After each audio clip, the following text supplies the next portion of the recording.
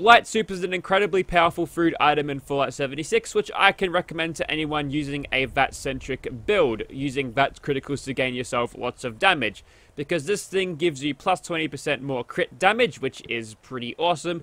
But if you have the Herbivore mutation, you can actually pump that up to plus 40% crit damage, which is equivalent to 3 levels, 3 ranks in better criticals. Obviously, there's a lot of synergistic value between these two items, so make sure you grab better criticals and eat the blight soup with um, with the herbivore mutation to give yourself the best critical damage possible and to keep that damage pumping out because at this stage of the game you're going to need every single point of damage you can get. Side note, don't use Bloody Mess because the 50% applied as an additive bonus basically gives you nothing. So that gives you three uh, perks free to chuck on Quick Hands instead. Quick Hands is, is fairly powerful now, even though it doesn't proc all the time. I find it to be a lot more useful than Bloody Mess. Now that you know the value of this thing, I'm going to show you how to get it real quick.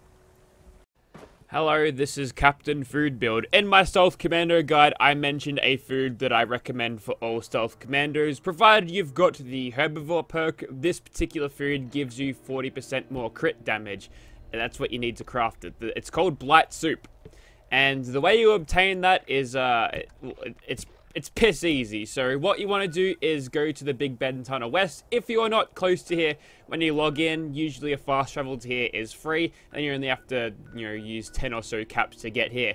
And once you're here, you want to go find some trees, because the blight is like a mushroom, it sort of glows, and it glows on the trees. There's some blight right there. Now, before you pick that up, what you want to do is chuck on something like uh, green thumb, and then when you harvest these off the tree, you get two.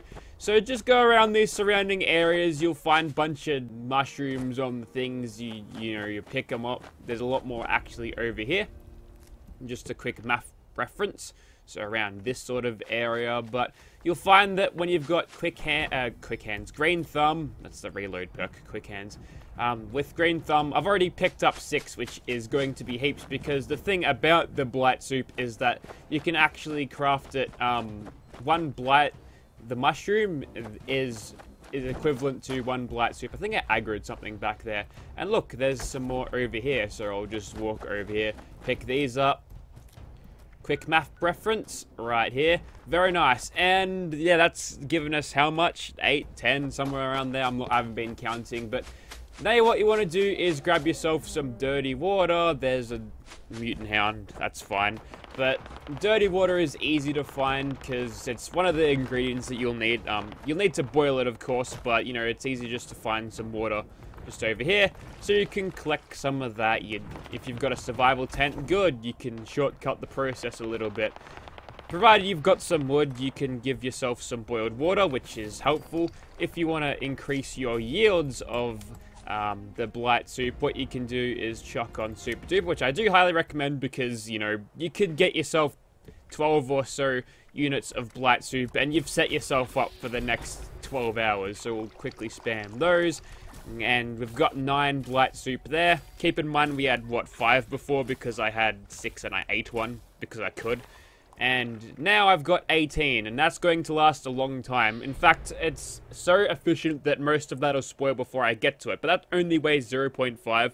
So, you know, using through Thru-Hiker is fucking pointless here and don't even bother with good with salt because you always know where to find some more around this area. Generally, it'll last you enough time to um, give you, you know, what you need out of them.